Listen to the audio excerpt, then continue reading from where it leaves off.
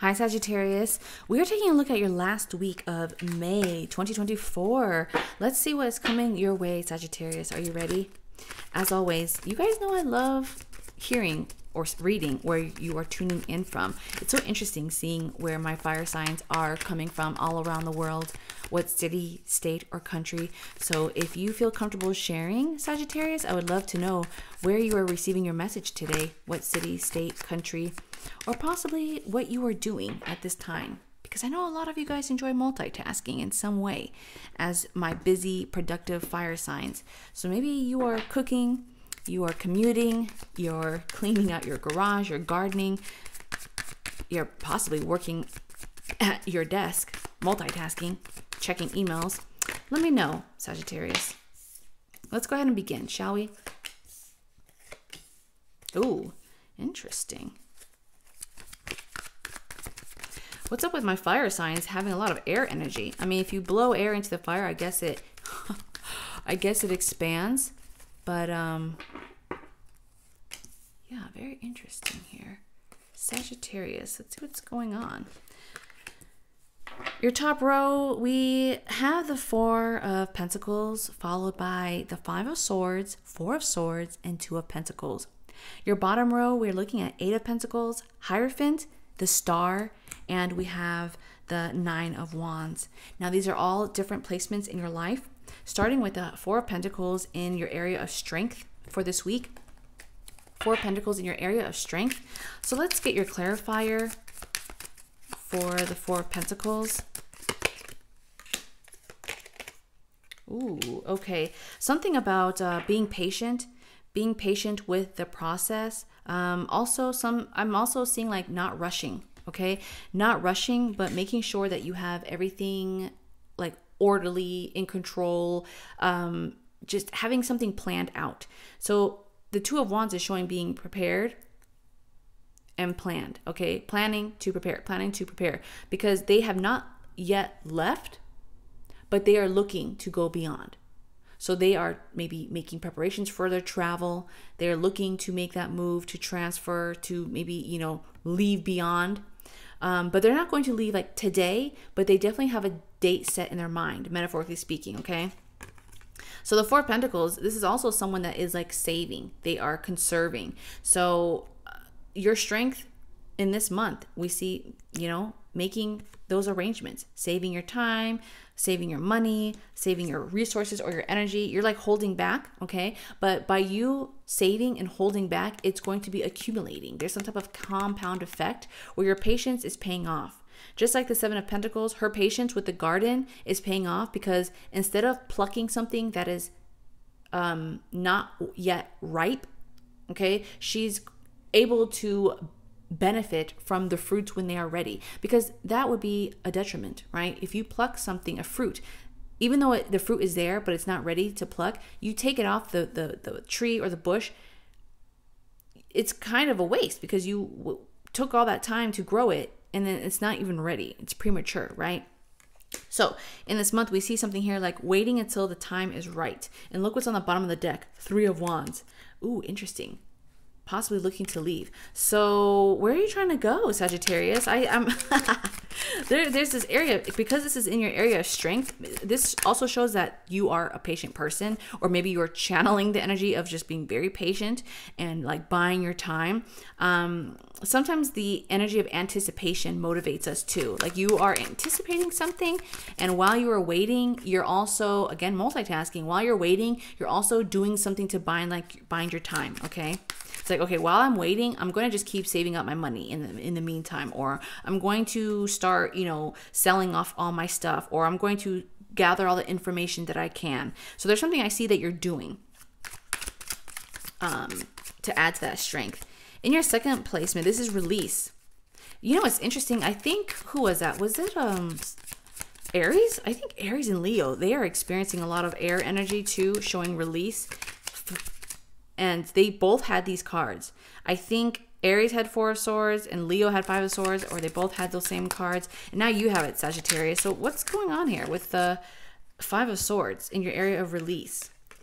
Nine of Pentacles and Page of Wands. Ooh, something about when you eliminate something, you're going to have more of it. And when you have more of it, you're able to do, go further with it. There, there's some type of, like you're cutting off dead weight, metaphorically speaking. Like there's something that you are eliminating, you're, you're trimming away it could be a person, okay? It could be a situation. Sometimes it could be also habits, okay? Habits that have been dragging us down. But by you eliminating it, this release is only going to allow you to gain more gain more abundance, gain gain more time. Maybe now you have more money because you're not spending it on someone or lending it out. Maybe you um letting go of an old job because now you have time to gain a new job, right? Because the page of wands also shows someone jumping into something new, uh, uh, like a, a, new connection, a new job, a new opportunity. Uh, the page of wands also shows there's um, potential. Okay, there is a lot of breakthrough and potential through this new journey that they are going on. So, by a release, Sagittarius, there's a come up. Okay, through this release, there's uh, definitely a come up. Um, I should have done this row last so I can stack them. Maybe I'll do it like this. Okay. Let's see here. So now we are looking at your Four of Swords in your third placement, an area to gain in this last week of May to gain what you will be gaining or what you are encouraged to gain. Four of Swords represents peace, relaxation. um, this is also contemplation, okay? Recuperating, recharging your energy. Ooh. Ooh, interesting. That kind of struck me. Um, Sagittarius, some of you are um gaining. Okay i see peace. Okay i definitely see some type of like closure. Maybe that's what it is. Maybe there's like closure after the ending. Um, but sometimes there's peace realizing when there's no more suffering. There's some type of suffering that's being put to an end whether it's your suffering or the suffering of a loved one. And um, they are at peace and they are at rest so it gives you peace and rest um, we also see some type of ending happening, but through that ending, there's a, a rebirth. So you, the old you being put to rest, your old life, this old um, role of you, okay? Things that used to consume you are no longer consuming you, and you're just like cutting it out. And it's you're like ready to break away. And remember, I was, I was saying that it could be habits. Maybe you're breaking away from old habits, patterns, behaviors, connection. This could be like purging of belongings or memories. It's like wiping wiping it away, wiping it all away and starting over again. Because we see new, okay? This is new, abundant, opportunities. This is showing manifestations, abundance. Also, the Ace of Pentacles is showing that um, sometimes you come across unexpected sums of money. So, not all of you, but some of you may be experiencing that um, with maybe someone that has passed or that has left your life or been cut out of your life. You have more money, or they're leaving you money, or you win some type of um, settlement, okay, where you're coming across the money through a divorce or some sort of um, that. But also, this is ideas too. Sometimes your ideas, when you are just in your state of peace, calmness, or meditation, and you let go of like the chatter, the noise, the distractions, you eliminate the drama, then things come to you clearly, and those clear um, visions or ideas, they can be tangible. Okay, you can it. It's going to be something. Those ideas turn into something much valuable as we look at your fourth placement, this is in your career, your job, or your personal like projects. So Sagittarius, let's see what this is all about.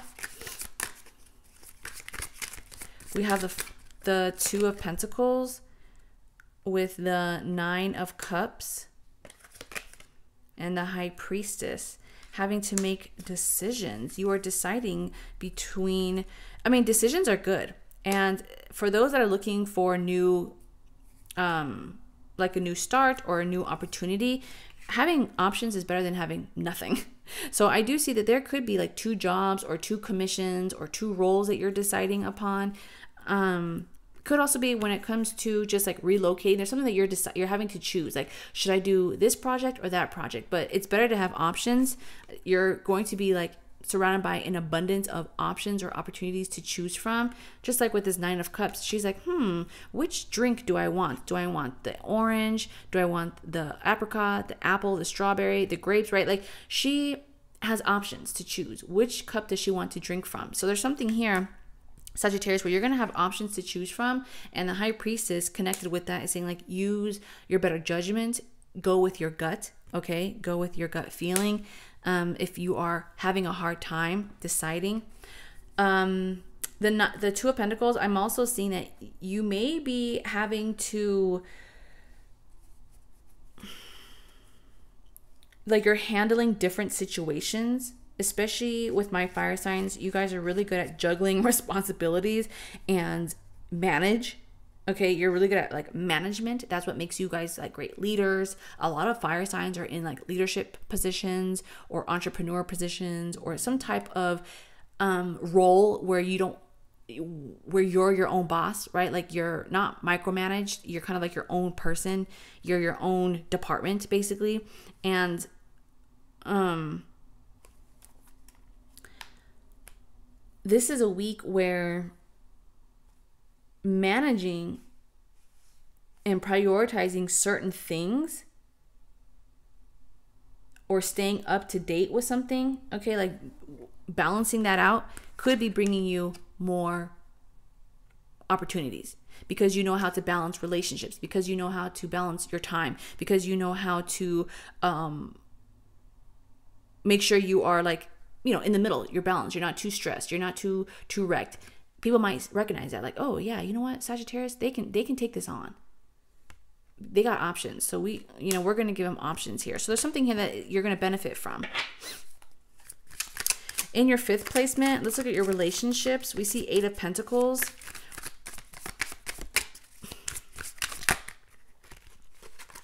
So we have the empress and we see the six of pentacles coming in. Um with relationships again it's not only love it could be job could be friends, okay, it could be family. But I do see here that with your repetitive follow up, there's something here that you are like constantly doing, but you're doing it like with passion, you're doing it with care, attention to detail, with this constant flow of showing up. Sagittarius, there's something that's growing okay there's something that's like producing that's being produced there's um there's definitely growth behind your constant follow up. And you're going to see that come back around in a boomerang effect. This is almost like a karmic energy. This person keeps giving, okay? The Six of Pentacles, they are in a position to give, give, give, give, give.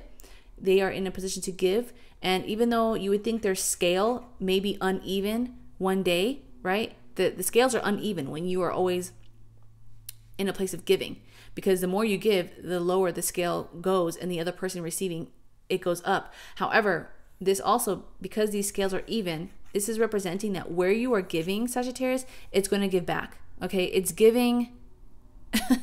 it's giving rewards. Okay, this energy is giving karmic rewards. So something that you have always been generous in generous with your time, your care. You maybe go above and beyond at work. You pay attention to details with your um, product okay? You are always a caring person. You always help others.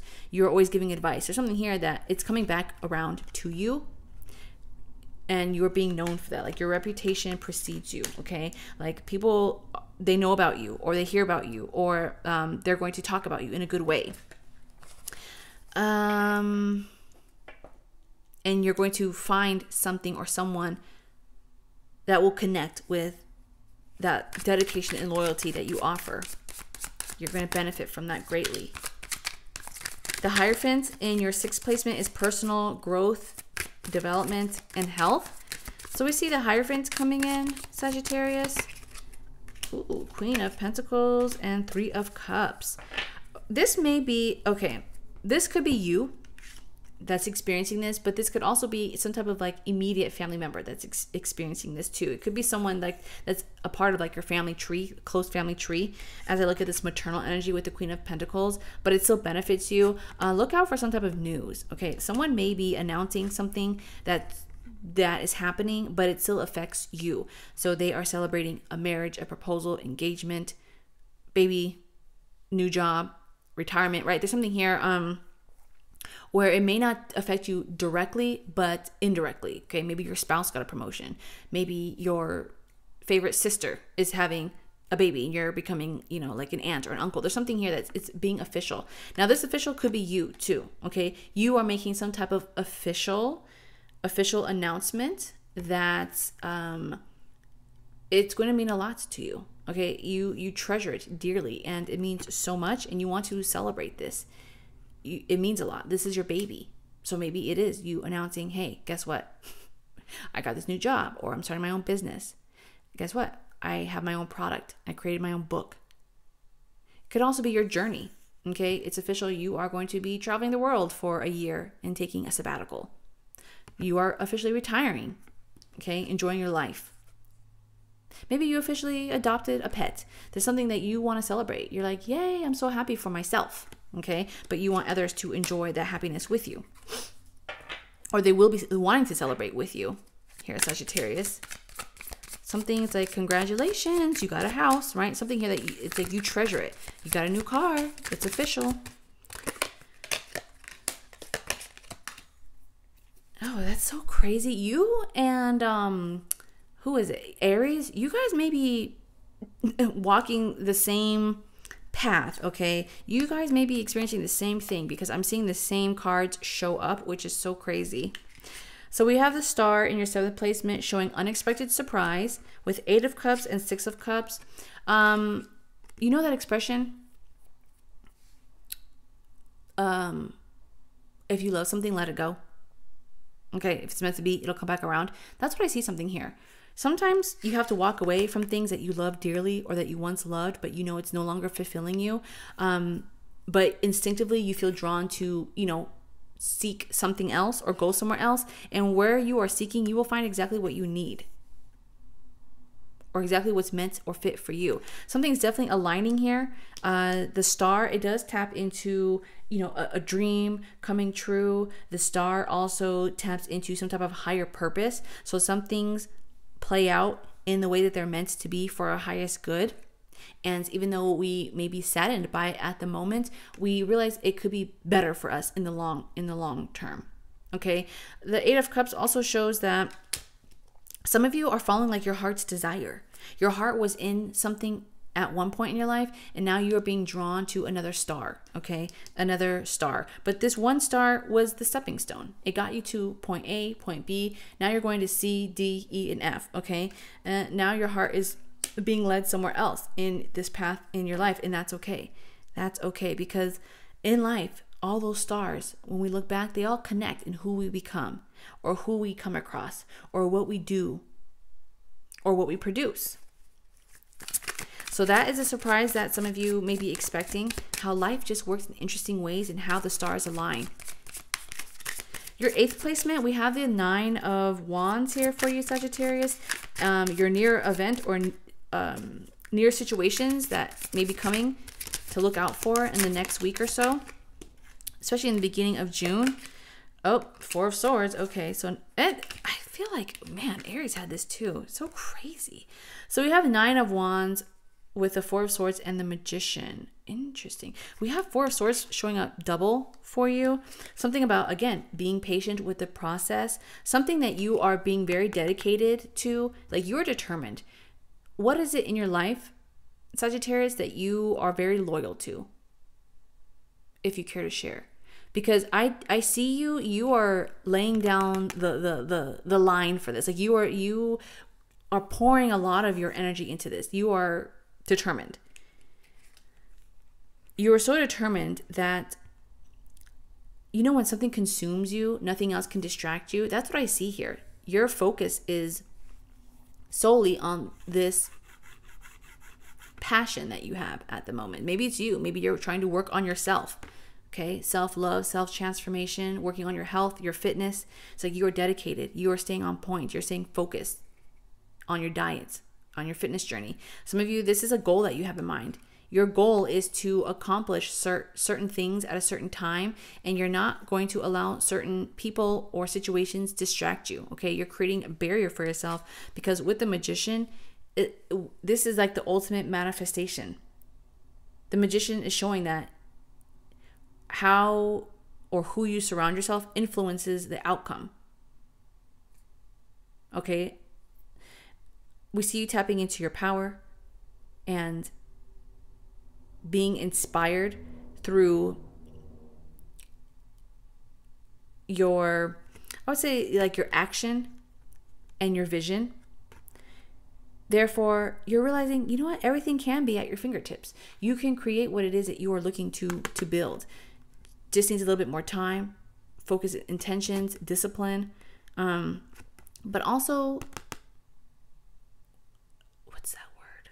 Um, not promise not determination secure not secure um when someone is very confident there we go that's the word confident okay? The the magician is very confident all all of these signs show confidence. They are confident in something that they believe in. This four swords represents confidence through the calm. They're not stressed. They're feeling blessed Okay, they're not stressed about the outcome. They know the blessing will come and there's a sense of ease.